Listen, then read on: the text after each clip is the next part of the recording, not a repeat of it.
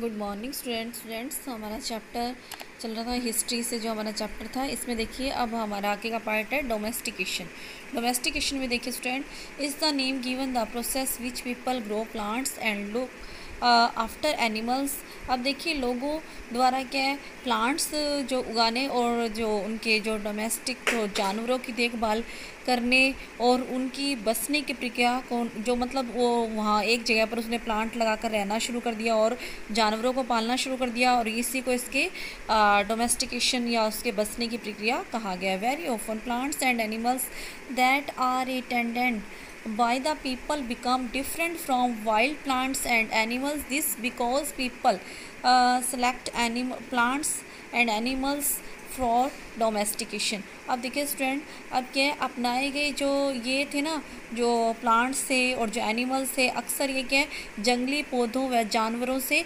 अलग थे। और इसकी वजह से ही क्या हुआ कि बसने की प्रक्रिया की मतलब उन्होंने अपनानी शुरू कर दिया अपनाई गई। और जो प्लांट्स और जो एनिमल्स का उन्होंने सेलेक्ट किया कि उनको कौन से पालने हैं और कौन से नहीं पालने। और एग्ज़ाम्पल के लिए देखिए स्टूडेंट्स अब for example they select those plants and and animals that are not prone uh, to diseases uh, to disease. They also select plant and the year large size green and has strong. Stalk capable for a bearing the weight of the ripe grain seeds from selected plants are uh, देखिए preserve from shown ensure that a new plants will have the same quality अब देखिए students अब क्या हुआ? Example के तौर पर क्या है कि लोग उन्हें प्लांट्स uh, और जो जो उन्होंने सेलेक्ट किए थे ना अपने जानवरों को सिलेक्ट करते करते और जिनके बीमार होने की संभावना ठीक है उन्हें डिज़ीज़ मतलब कम हो या बीमार होने की संभावना कम हो यही नहीं लोग उन्हें उन्हीं जो आ, मतलब प्लांट्स को चुनते थे जिनके क्या हो जिनके ग्रेन्स हैं ना लार्ज हों बड़े दाने ठीक है हो और साथ ही जिनके आ, मतलब आ, जो जो उनके मतलब मज़बूत डंठल अनाज के पके दानों के भार को संभाल सकें। ठीक है उन्होंने इस तरह के सिलेक्ट करना। जो स्टाल का है ना स्ट्रॉन्ग स्टाल को उनका ठीक है तना मज़बूत हो उनका। और देखिए और फिर है ताकि फिर से उगाने के लिए उन्हें क्या है अब क्या ऐसे ही जो प्लांट्स उगाए जिसका उन्हें क्या मिले बाद में सीड्स प्रिजर्व कर सके और सीड्स मिले उसे वो प्रिजर्व करके रख सके कि नेक्स्ट टाइम फिर उन्हें आ, इसकी ज़रूरत पड़े। और जो सेम क्वालिटी मतलब अच्छी क्वालिटी के उन्होंने इस तरह से सिलेक्ट किया। अब देखिए नेक्स्ट है देखिए students amongst animal those that are relate देखिए ये देखिए उसके बाद है amongst animals, those that are relatively uh, gently are selected for a breeding as a result gradually domesticated uh, animals and plants become different from wild animal and plants. For example the teeth and horns of a wild animals are usually much larger than those who domesticated animals. अब देखिए student अब है कि उन्हीं जो जानवरों के आगे क्या हुआ?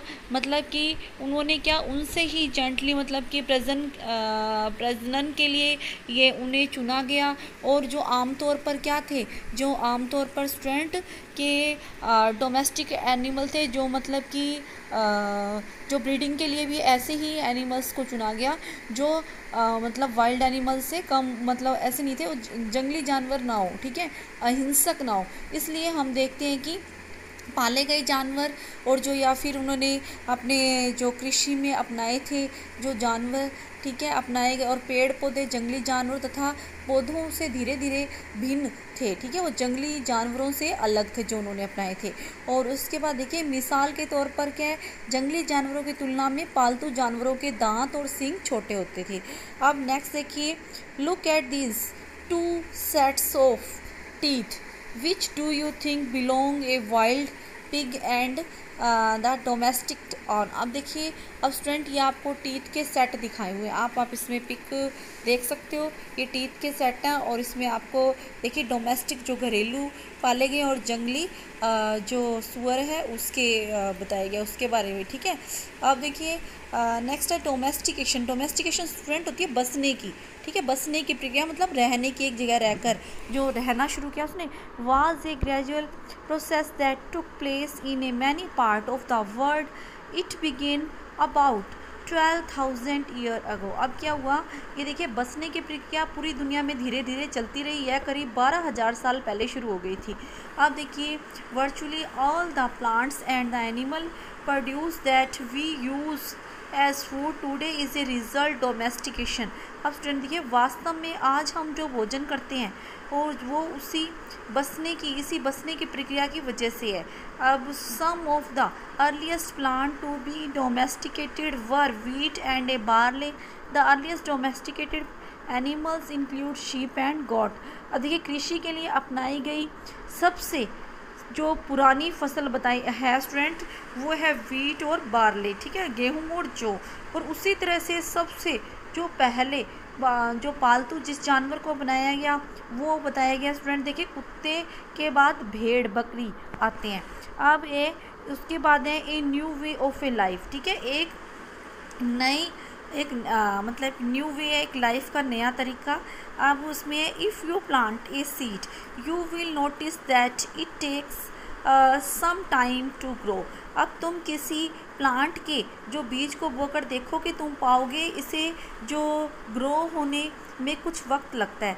ठीक है? दिस में be for a several days weeks months and days some cases year अब क्या होते हैं? इसमें कुछ दिन भी हो सकते हैं, कुछ महीने और फिर साल तक भी लग सकता है स्टूडेंट अब देखिए, वो उसके नेचर पर है, वो किस तरह का सीड है? When people begin growing plant it mean that they had to stay in a same place for a long time अब इसी से क्या हुआ?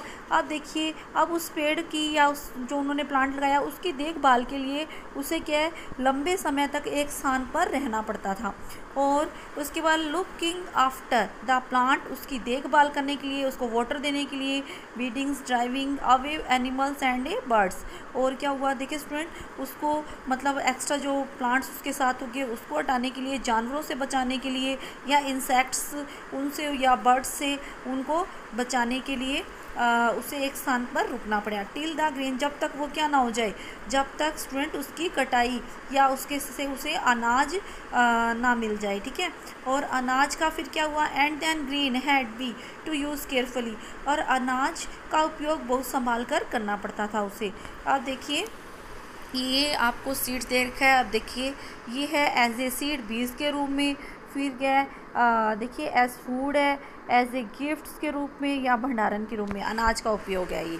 फिर उसके बाद देखिए नेक्स्ट है student as grain had to store for a both food and seed people had people had to think away storing it many areas they begin uh, making large clay pots और वो baskets dug pits into ground अब देखिए अब क्या हुआ? इलाके में आ, लोगों ने मिट्टी के बड़े बर्तन बनाए टोकरियाँ बुनी या फिर ज़मीन में खड्डा खोदा। और देखिए उसके बाद है you think hunter gathers would you made use pot given give reason for your answer अब क्या देखिए क्या तुम्हें स्टूडेंट लगता है कि जो हंटर या फ़ूड गैदर करने वाले जो बर्तन uh, वाले uh, बर्तन बनाते थे उनका प्रयोग करते होंगे या अपने जब मतलब जो आपने इसका आंसर देना है? अब देखिए उसके बाद है स्ट्रोंगिंग एनिमल्स अब देखिए स्ट्रोंगिंग एनिमल्स में देखिए एनिमल मल्टीप्लाई नेचुरली अब आपको पता है जो ये बताया कि एनिमल्स हैं, वो आपको पता है कि वो देखिए, वो है नेचुरली है beside they are looking after carefully अब उसकी क्या है? उसकी देखभाल। अगर जानवर क्या है, उसकी देखभाल की जाए तो उसकी भी संख्या बढ़ती जाती है, ठीक है? प्रोवाइड वो आपको क्या करवाएगा? मिल्क प्रोवाइड करवा रहा है which an important source of food है एंड मीट है वट आर रिक्वायर वो रिक्वायर पूरी कर रहा है जो भी आपकी रिक्वायर है। इन अदर वर्ड्स दूसरे वर्ड्स में हम कह सकते हैं animal that are rear can be use as a store of a food और जो एनिमल है, वो भी क्या है? स्टूडेंट देखिए दूसरे शब्दों में हम क्या कह सकते हैं? पशुपालन, भोजन के भंडारण का एक तरीका है। A part food what are other things that could have been obtain from animals what are animals use for today अब क्या है भोजन आ, के अतिरिक्त जानवरों से क्या क्या मिल सकता है?